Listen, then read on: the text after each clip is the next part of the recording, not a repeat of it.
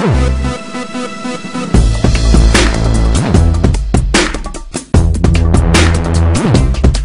right, girl, we jumped, we landed, we survived. What'd you think? It was amazing. Hey, thanks for coming out, Chattanooga Skydiving Company on Wizard. I'll see you again next time. Peace out.